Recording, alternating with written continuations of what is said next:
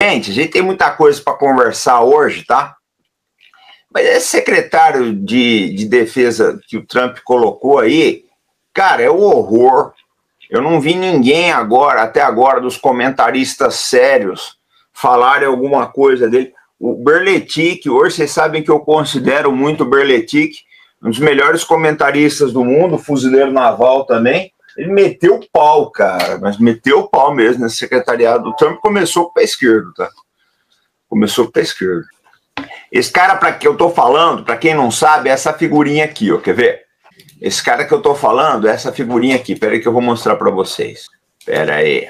Essa, esse cara aqui, ó. Sem condições. Esse aqui é o novo secretário de Estado dos Estados Unidos. Secretário de, de, de, de defesa, perdão. Então, assim, eu acho que a gente começou muito mal, tá? É o Pete Hegseth, né?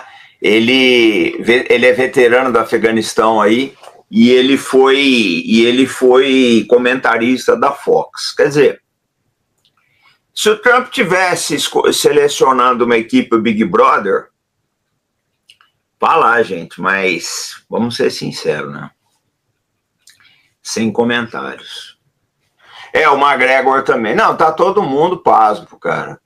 Jorge, tá todo mundo pasmo. Assim, a turma você tem uns comentaristas internacionais muito bons. Berletic, McGregor, Martianov. Você tem o, o Larry Johnson, que tá sempre no imprensa de destruição em massa aí. Mas pelo amor de Deus, cara, não tem condições. Sem condições. Tá todo mundo louco tá todo mundo louco com esse negócio aí. É, o secretário é do Trump, mas vai apoiar o Bibi, né? Mas vai apoiar o Bibi.